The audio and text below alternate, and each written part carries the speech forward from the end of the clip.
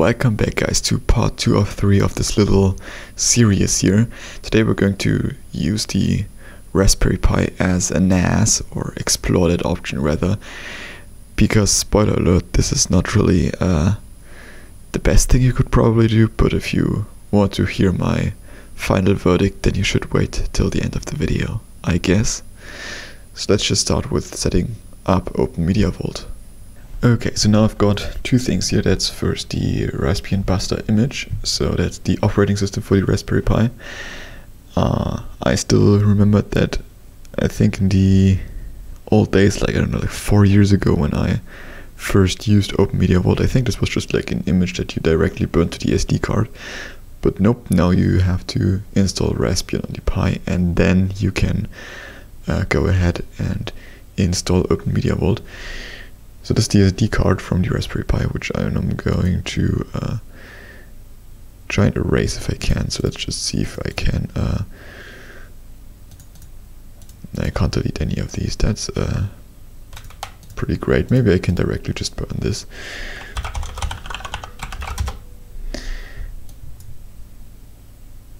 Choose an image. Yeah, I already clicked on that image, but whatever. I don't need to, to the hash, no. And there aren't any devices connected. That's great. SDB, compact flash, uh, no. Maybe I replug the SD card. Nope, SDB, what is SDB? SDB doesn't even exist. That's interesting. Why can't I just uh, delete these here? Okay, now I can delete them. And now I just have one giant un unallocated space. That's maybe good, maybe not, I don't know. This still only finds SDB, which is not. Oh yeah, it already has the image in there, so I don't have to choose it again, which uh, kind of makes sense. But yeah, this only wants to find SDB. Oh, apparently there's like a, a tool here from uh, Raspberry Pi. Raspberry Pi image for Ubuntu. Let's use that. Why not? Some packages could not be added. Okay. Okay, so I found a couple instructions here. Let's just uh, see if uh, I can make this work somehow. So we should lsblk minus p and yeah this is our SD card. I have no idea what this is trying to find there. Or thinking it finds but whatever. Uh yeah shows blah blah blah. Any partitions have been blah blah. Mounted unmount them. We have none of them mounted so that's kind of great. And we can use uh, DD.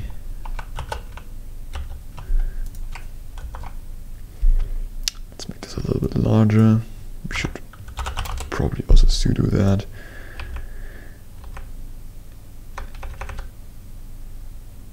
And the in file is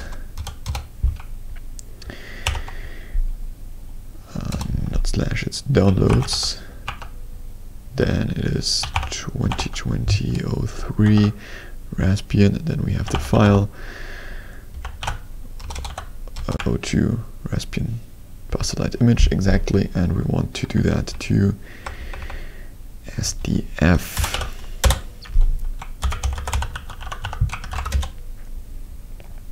And now it might be doing something, or maybe not. Maybe I also just completely killed my entire PC, who knows. I mean, it's the great thing about Linux. You can do whatever the heck you want, but it's uh, oftentimes a question uh, if you should. Okay, I can write in here. Uh, I don't know if that's supposed to happen, to be completely honest. I mean, we can see this thing doing something. I mean, it's still running the process, obviously, but it doesn't look like it is doing actually anything. I mean, it did something you know. Uh, let's maybe look at this. Yeah, it did, did something. Okay, maybe we just have to be a little bit more, a little bit more patient here. Is that right out the files? Yep, it is. Okay, great. Then let's just uh, run this here until it is, uh, well, done, I guess. Okay, yeah, that looks a lot better. So let's just close this thing here. We can also close this thing. And we have boot and we have a root fs. And uh, there we still have to do a couple of tweaks, I think. Um, because there was a problem in my last Raspberry Pi video over a year ago, or about a year ago, I think, where I did the OpenVPN server, where I had to connect it and uh, boot the Raspberry Pi and uh, go into like its UI and do a lot of stuff to enable like SSH remote access and stuff like that, which we now don't have really because uh, now this is just a light image without any UI. Whatever, we have to do something here. A little bit further down, exactly neighboring Raspberry and SSH server for remote access.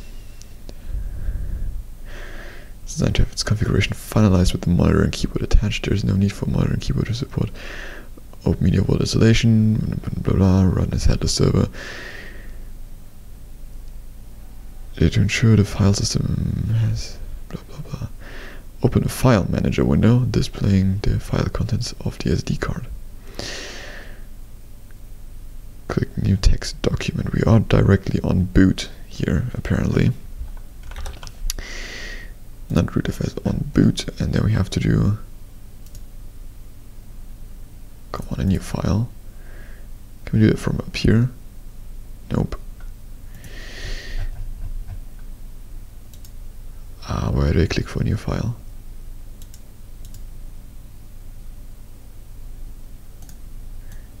Yeah, like on Windows you can just like click somewhere else. Um, let's just create a new file on my desktop maybe. Desktop files. New. New folder. Okay, let's do this from the command line. Uh, we are in, I think this was media. And then on boot. Okay, so now touch SSH and now we have a file called SSH here. Exactly, zero bytes, okay. SSH has no extension, blah blah, okay. Oh, that's apparently everything. Okay, then let's just plug this in and boot it up, I guess. Okay, so now this thing booted up. Let's see if we can log in with, I think it was Raspberry, and then add the IP address. That's a hard no. Oh, now it's a yes. Okay, great.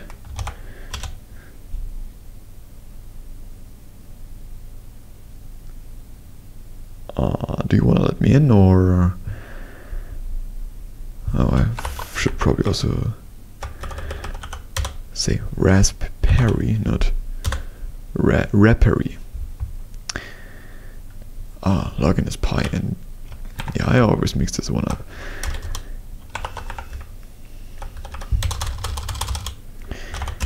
That's pi with raspberry. Okay.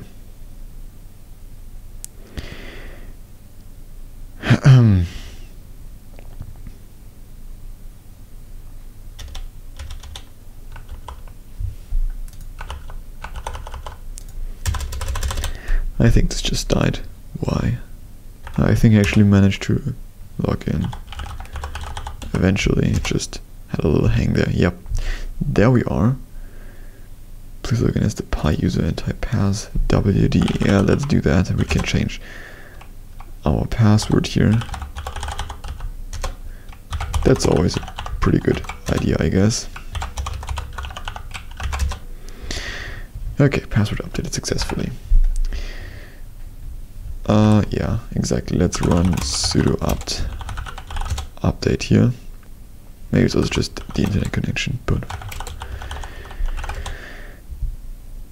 yeah, this thing ain't fast. Let's see how it uh, actually fares as a NAS. That will be pretty interesting. I should probably note that I haven't connected the hard drives yet, uh, just because I think that it is better if we just plug them in once we have everything set up. And there we are now done. So let's just paste this thing in. So this is the install script, which is then downloaded from GitHub and then executed.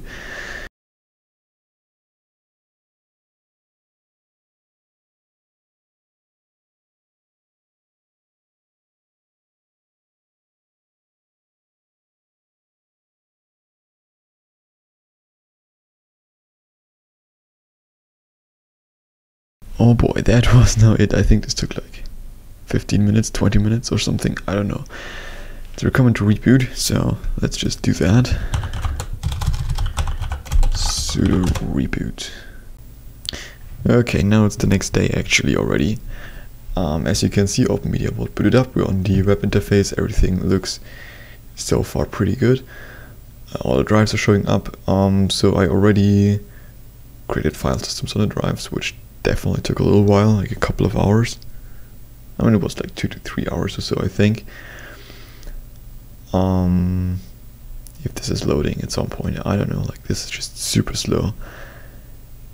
Ah, uh, yeah, you can't see them here because I already did the RAID here.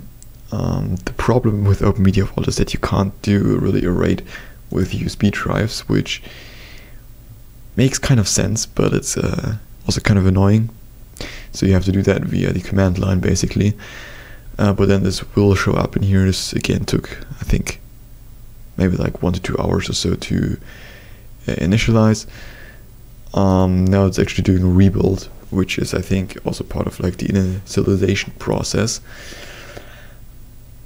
Um, yeah, the thing that only took like two hours was the creating the file system on the RAID. So this is a RAID 5. This has uh, about a capacity know of 21 0.83 uh, terabytes. Um, yeah. Now, there is a bit of a problem with this entire thing. So the, the, the gist of it is, is I'm going to turn it uh, off now at the end of this clip because it doesn't really make a whole lot of sense. And it's the, the main problem of it is that it's super slow, or at least it's one of the problems. As you can see, this uh, now it takes 43,000 minutes. So I uh, calculated a little bit earlier where I think said like 50,000 minutes or something, but basically this takes about a month to initialize. Also with the uh, transfer speeds that I'm getting, which is around 5 megabytes a second on average, this would take like about two months to uh, fill up with data. So yeah, that's super slow and that's not the main issue of it. The main issue really is the noise. So the problem is that these external hard drives they just stand on like like wood even if I'm trying to isolate it a little bit as you can see from the front picture here. Um, it's still kind of resonating with the entire uh, with the entire shelf that's on and it's uh, it's like a pretty deep low uh, no, rumble noise all the time. And I'm trying to sleep in this room here as well and I mean, yeah, I'm uh, already used to a little bit of noise from my NAS, but this is just a lot more.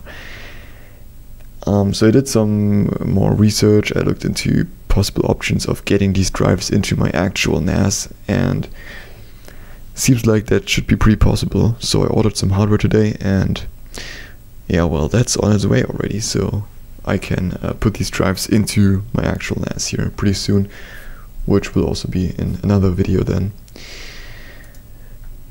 And I think while this is still happening, I can tell you talk a little bit about what I think about Open Media Vault because I used the software, uh, as I already said, to build the first NAS actually with the same Raspberry Pi. Back then only with like a 16 gig USB stick, but whatever. And it's still mostly the same, like it definitely looks a little bit different now. Uh, just a little bit more modern for sure. It's a little bit weird though, I think uh, you have to create like a shared folder here first and then you can use like SMB to share that. It's like a little bit different, uh, different workflow than FreeNAS for sure. And you can create like uh, shares here that point then to the shared folders. So that's interesting. So there are also some some plugins here which are pretty cool. So one of them here is, for example, like a downloader where you can uh, download YouTube videos. I mean, I started this one here. It's just a normal video, like yesterday in the evening, and it's still doing something. Apparently, I don't know. Maybe it's also not just just not downloading because the rate is still initializing or something.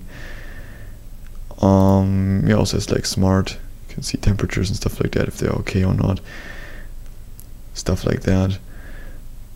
So overall, I have to say it's like fairly fully featured for a NAS operating system. Like you can definitely do everything that you that a, a typical like home user would need to do.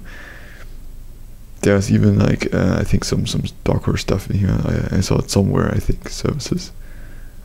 Maybe no. Uh, I think it was like a. Oh yeah, here in the extras you can do like Docker. You can install it by hand or something, or let it install here and then uh, you can also use Docker, which on Raspberry Pi I don't think makes a whole lot of sense. But yeah, in the end it's pretty comparable. I mean, it also has ZFS support through uh, through a plugin, which is pretty cool.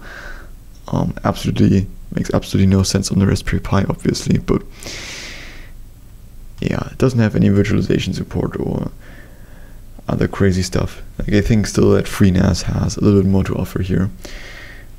But FreeNAS also doesn't run on the Raspberry Pi. Now, obviously, the big question is should you even create a NAS out of your Raspberry Pi? And I think the answer is a hard no. Unless you have a Raspberry Pi Model 4, like then it's maybe fine because that one has like gigabit Ethernet. It has uh, two USB 3 ports that you can definitely use. I mean, in the end, you're probably always better off just like getting some old crap like PC. I mean, I think you can get like tower PCs for free probably from like businesses. Like, I mean, I work in IT. I could just take like one old uh, computer of these home like every month, and that's just going to be a, a lot better uh, of an option than using a Raspberry Pi because then you can use like SATA and stuff like that. And in the next video, I'm going to talk a bit more about these external hard drives and shucking and uh, why you would want to do that uh, and all that that goes into that. Because I guess I, I looked just at the price of these external hard drives and the price is like, extremely good, right? So that's the main reason that people buy them, that want to use them for mass storage. Uh, and I thought, like, hey, maybe the Raspberry Pi that I have laying around is a good fit for that, but no, it's definitely not. And with that, I think I'm also going to end the video. There are not going to be like any benchmarks here or anything. Um, basically, I was starting to copy like a large file, like over a terabyte to it yesterday, and it is now like 16 hours later, it has like transferred 300 gigs or so over. not very fast. Okay, so that's